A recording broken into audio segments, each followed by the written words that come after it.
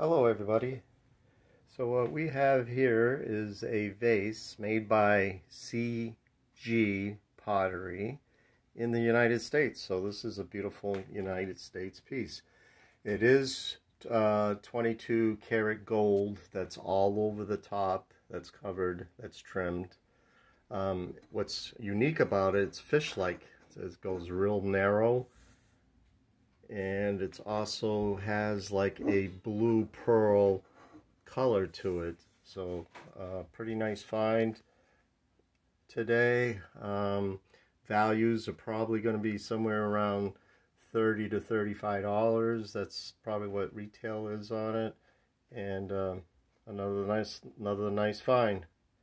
And uh, please subscribe to my channel. Thank you